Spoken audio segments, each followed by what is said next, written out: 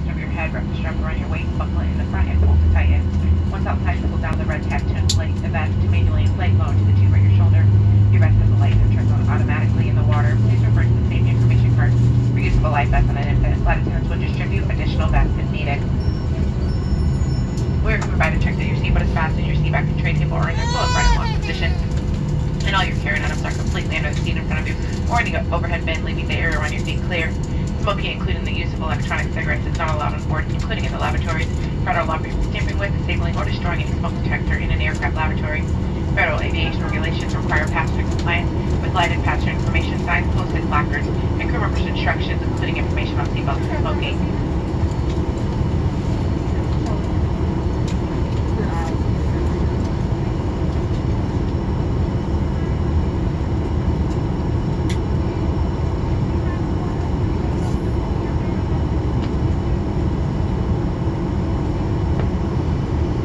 Lastly, if needed, masks will drop from the compartment overhead to activate the flow of oxygen. Pull down the mask until plastic tubing is fully extended. Place the mask over your nose and mouth and breathe normally. Secure the mask with the elastic strap. Although oxygen will be flowing, the plastic bag may not inflate. Continue wearing the mask until otherwise notified by a crew member. If you're traveling with children or anyone needing special assistance, put on your mask first. We're here for your comfort and safety. Please report any unwelcome behavior to a flight attendant. Thank you for your attention. Sit back, relax, enjoy our 45-minute flight to Houston. Welcome aboard Southwest Airlines.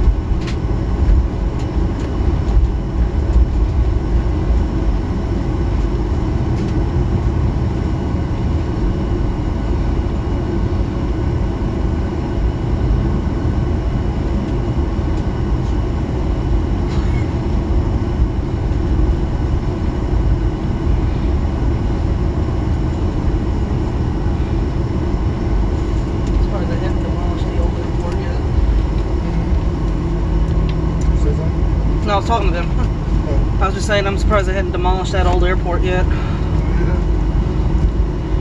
Everybody's wearing masks. You don't know who's where the sound's coming from.